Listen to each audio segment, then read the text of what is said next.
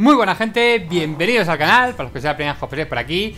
Un afectuosísimo saludo para todos los que sois socios de este Selecto Club. Y en el día de hoy os traigo un pepinazo que llevo mogollón probando y configurando A ver si consigo encontrar un coche que si bien no gane al RSR Por lo menos que sea un digno rival. Y yo creo que he encontrado al que es a día de hoy mi coche favorito. O sea, no paro de echar carreras con él y bueno, así he empezado un poquito con el tuneo visual. La parte exterior, bueno, lo único que cambia es la parte trasera eh, Simplemente para que no saliese la, matrícula, que me ha parecido interesante. Los tubitos le he metido tres tubos de escape. Las llantas, le he metido las llantas más parecidas que he encontrado a las de serie De cara a poder ponerlas un poquito más grandes. He puesto unas, unos cuantos vinilos con la banderita de Titel en la parte de abajo parecido al, huracán performante y bueno, pues el color en este amarillo Módena tan clásico y tan característico de los Ferraris.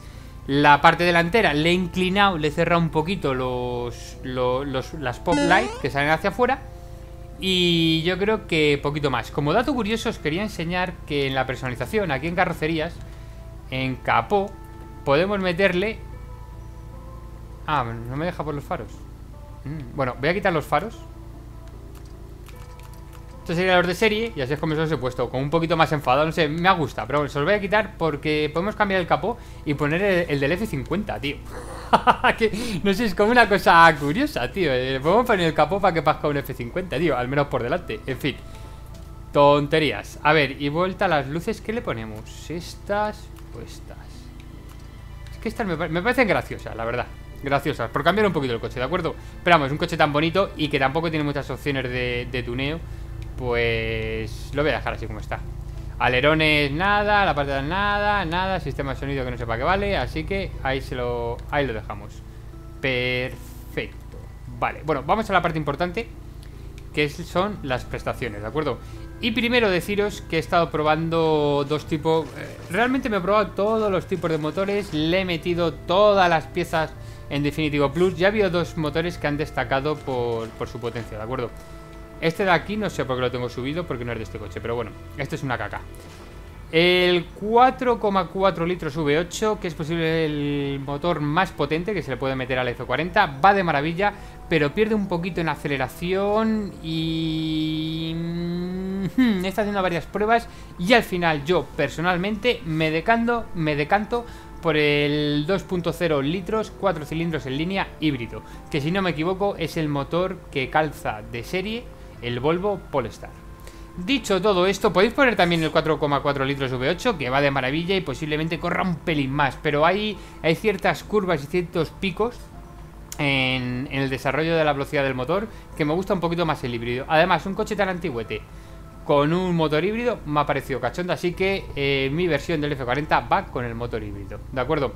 Así que, bueno, como veis es un coche 10-10-10 a falta la potencia, pero bueno, ¿qué le vamos a hacer? Ni siquiera metiendo el, otro conseguiríamos una, una, potencia de 10 Así que bueno, velocidad máxima 10 y aceleración 10 Como siempre, tener 10 en nitro es tan sencillo como meterle una bombona definitivo, ¿de acuerdo? Así que la bombona, hablando de nitros, tenemos 5 depósitos de, un kilo y medio eh, el escape, la refrigeración, la EQ y el cigüeñal, por supuesto, siempre en definitivo plus. En este juego, cuanto más potencia, todo mejor. A la hora de la alimentación, elegir un doble turbocompresor, ya que no varía demasiado respecto al... A ver, con el turbo se nos subiría un puntito más, ¿no? Vale, si es que da igual. Eh, ganaríamos un poquito más de aceleración respecto al resto de, opciones para la alimentación. Así que doble turbo yo creo que es lo, suyo, ¿de acuerdo? Doble turbo compresor. De Al loro que es un twin turbo, ¿vale? Un twin turbo son dos turbos iguales, normalmente chiquititos. Eh, un doble turbo es un turbo pequeñito para el principio y un, turbo grande para el final del desarrollo del motor. Que bueno, eso la explicación os lo dice, ¿vale? Vale, más cositas. Para la suspensión, hemos elegido la suspensión de competición. Este coche agarra de maravilla. Para los frenos, los frenos más gordos, que son los élites. Vale, pues pasemos a explicar los distintos tipos de, neumáticos que yo personalmente pruebo a la hora de, intentar cambiar o mejorar el, paso por curva de los coches, ¿de acuerdo? En este, en el caso del F40 he elegido los neumáticos de competición, ¿de acuerdo? Si veis abajo el logotipo, tiene un volante y tiene una bandera. Bien, vamos a empezar a, a, recorrer todo el abanico de neumáticos para configuraciones de carreras, desde los que más agarran, que son estos de aquí, los neumáticos de competición, a los que menos agarran, que son los neumáticos de exhibición, ¿de acuerdo? Entonces, si vosotros cogéis un coche y notéis que las curvas gira poco, que hay que abusar mucho el freno de mano, porque con freno de mano todo gira, deberíamos buscar una configuración de neumáticos eh, de exhibición, ¿de acuerdo? Pues aquí podemos hacer un abanico del punto A al punto B, siendo el punto A el que más agarra y el punto B el que menos agarra, ¿de acuerdo? Empezando por los que menos agarran, tendríamos el neumático de exhibición, ¿de acuerdo? Luego podríamos pasar al neumático de asfalto, luego pasaríamos a los neumáticos de competición con logotipo de volante y logotipo de de banderita y luego los que más agarran son los neumáticos de competición, ¿de acuerdo? Yo en este caso he elegido los neumáticos de competición con volante y con bandera, que creo que son los que mejor le van, pero vamos, estos también van bastante bien. Los neumáticos de competición son buenos para aquellos coches que, que culean mucho, que se van demasiado, que son un poquito inestables, pues con esto vais a conseguir que el coche agarre un poquito más.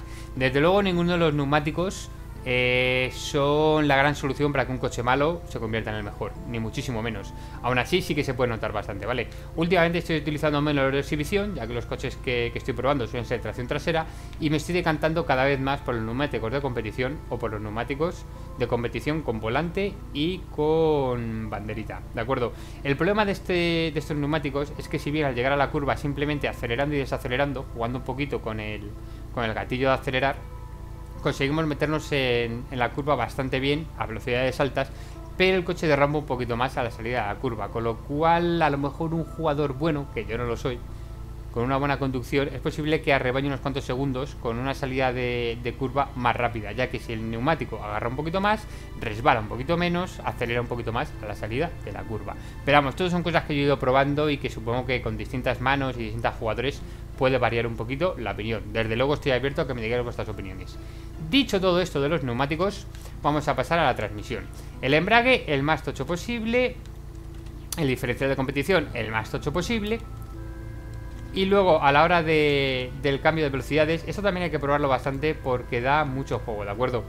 Entonces, el de 6 marchas es el que yo creo que hace un recorrido eh, por las distintas marchas más rápido, ¿de acuerdo? Es más... Y enseguida estás a tope, que a lo mejor uno de cuarto marchas que es más... Y al final en las marchas largas cuesta un poquito que suba, ¿de acuerdo? Y el de 5 marchas le pasa un poquito a lo de 4, no es tan rápido, ¿vale? O sea, el de 6 marchas es... Y en un Big estás a, tope, estás a tope.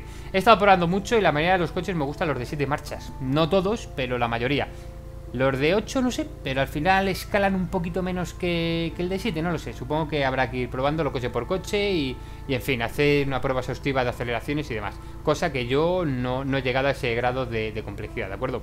Así que he explicado un poquito todo. Ah, bueno, me faltan las auxiliares, que la activa tenemos la doble recarga de nitro y la pasiva tenemos la mezcla de nitro extra, que nos da un poquito más de potencia y un poquito más de duración a nuestro turbo de siempre, a nuestro nitroso de siempre, ¿vale? Esto va un poquito en gustos, ¿de acuerdo? Yo, en fin, no sé, como utilizo la versión de nitro con el, con el, con el nitroso de, la botellita pequeña de 1,4, pues prefiero tener eh, a la hora del auxiliar pasivo la mezcla de nitro. Por ejemplo, si tuviésemos una bombona muy muy grande, eh, que ya tiene una duración muy gorda, lo que sería interesante es una potencia de nitro, de cara a buscar la velocidad máxima antes o alta o algo de eso, ¿vale? O sea, un, nitro, la bombona más grande, que son 6 kilos y pico, con una potencia de nitro, es una pasada. No creo que a un nitro de tantos kilos haga falta meter la duración, ya que de alguna manera dura bastante. De hecho, yo me lo pongo porque dura bastante y muchas veces se desaprovecha. Vale, explicado todo esto, vamos a hacer la, prueba en el circuito de Palm Street y vamos a ver qué tal paso por curva tiene y qué tiempo hacemos. Bueno, pues ya estamos aquí, vamos a probar en el circuito qué tal va el coche. Como siempre, este circuito nos va a decir qué tal paso por, por curvas rápidas tenemos, lo que nos va a dar una idea clara de, de qué tal va en curvas. Así que a ver, de momento no vamos a tope, con lo cual el coche va de maravilla. ¿eh? Es increíble lo, bien que se mete hacia dentro de la curva. Este coche agarra estupendamente bien. Otra cosa buena que tiene este circuito es que nos va a enseñar eh, cuán rápido sube el motor a velocidades altas, si es un motor rápido o no. Porque al final para ganar carreras online lo que necesitamos es un coche que a velocidades altas suba como un cohete. ¿Vale? La idea es encontrar un coche que sea digno rival del Porsche 911 RSR. Madre mía, cómo gira de bien este coche, tío. Qué estabilidad tiene altas velocidades. Y luego el paso por curva es rápido, ¿vale? Si veis, cuando nos metemos en la curva, yo no suelto el acelerador, ¿vale? No suelto el acelerador de que he salido de, meta. Y como veis, el paso por curva no frena demasiado el coche. Obviamente perdemos cierta, cierta velocidad respecto a la recta, pero ¿ves? Nos mantenemos por encima de los 3,10, que está bastante bien. Si vas a tener un poquito de cuidado ahora que, que estamos a tercera recta, empezamos a doblar coches y no quiero chocarme con ninguno. Vamos a intentar hacer una vuelta limpia para que el tiempo sea lo más limpio posible. Más o menos lo que, lo que hago en, todas las pruebas de coches, ¿vale? Venga, última vuelta.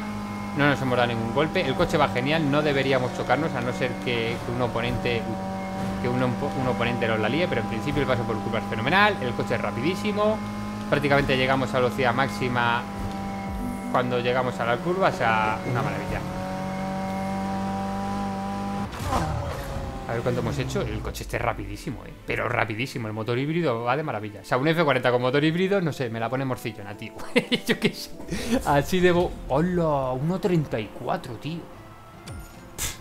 qué pasada, chaval. Este coche es el digno rival para el RSR, de verdad. O sea, he echado carreras con él y va de maravilla, gira de maravilla, corre de maravilla. Una pasada.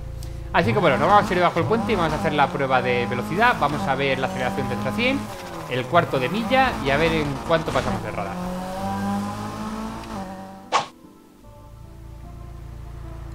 Vale, pues ya estamos aquí. Vamos a mirar primero la aceleración de 0 a 100, que la tenemos en dos segunditos, lo cual está genial. Acelera un poquito más rápido que el Porsche RSR. Tenemos un par brutal de 1400 y una velocidad punta de 3,77 que está de maravilla. Perfecto, lo único que, le falla un poquito respecto a otros coches es el total de caballos, pero en fin, menos caballos tiene el Porsche y corre más, o sea que tampoco hay que ser pijotero con ese tema. Vamos a ver en cuánto hacemos el cuarto de milla, madre mía, en 8,63 segundos, tío. 8,63 segundos. Como veis, y ya va siendo un estándar en mis, en mis configuraciones, la sensibilidad de la dirección a tope en alta y la carga aerodinámica un puntito desde el medio, que es como sale predefinido, un puntito hacia alto, ¿de acuerdo? Así que venga, a la prueba de aceleración.